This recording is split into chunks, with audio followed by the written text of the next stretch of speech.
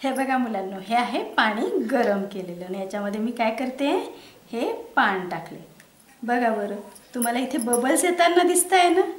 बघा. हे बबल्स काय येतात माहिती आहे का तुम्हाला?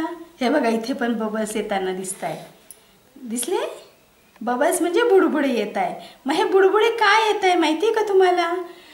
तर झाडाच्या पानावर रंध्र असतात. रंध्र म्हणजे पोरस म्हणतात इंग्लिशमध्ये.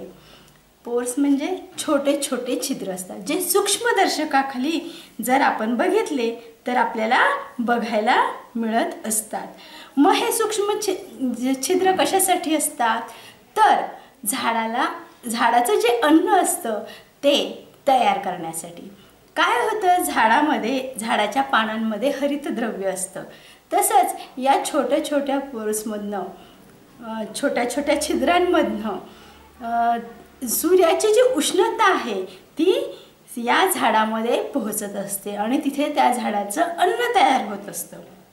त्यासाठी हे छिद्र असतात याला बायोलॉजिकल भाषेमध्ये स्टोमाटा असंही म्हणतात. कळालं सगळ्यांना? तुम्ही पण घरी करून बघायचे.